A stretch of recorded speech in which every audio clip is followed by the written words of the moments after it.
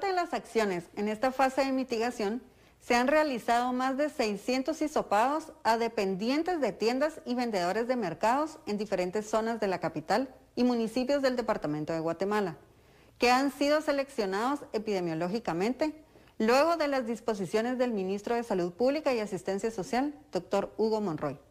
Las pruebas se realizaron en Villanueva, San Miguel Petapa, Peronia, La Verbena, El Amparo, Fraijanes, San José Pinula, San Pedro Ayampuc, Mercado de la Terminal, entre otros.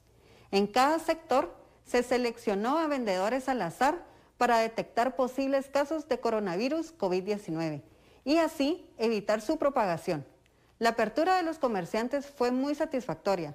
Manifestaron su agradecimiento porque al estar expuestos a tanta gente podían ser portadores del virus y a la vez infectar a sus familiares.